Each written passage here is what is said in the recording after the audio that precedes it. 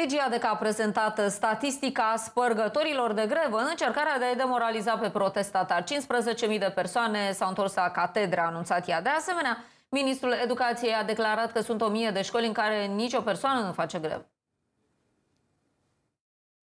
Este pentru prima dată când ministrul a dat cifre ale angajaților aflați în grevă. Săptămâna trecută, Ligia Deca a evitat să răspundă. Aceasta consideră decizia profesorilor de a renunța la forma de protest o dovadă de încredere în măsurile luate de guvern.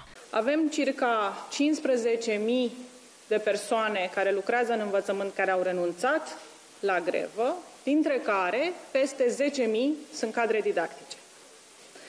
În acest moment avem peste 1000 de unități de învățământ în care nicio persoană nu face grevă. Ceea ce pe noi ne bucură este um, trendul descendent. Este clar că încet, încet uh, cadrele didactice revin în clase, personalul revine în școli.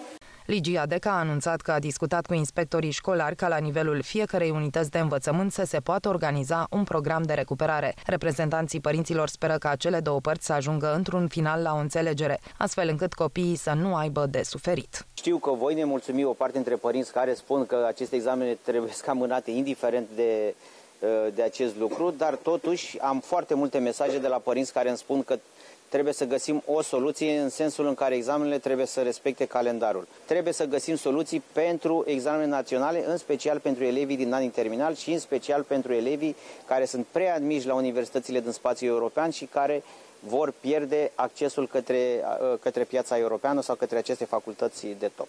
Ministrul Educației a dat asigurări că negocierile cu sindicaliștii vor continua și în perioada următoare. Între timp, în multe orașe din țară, profesorii au continuat protestele.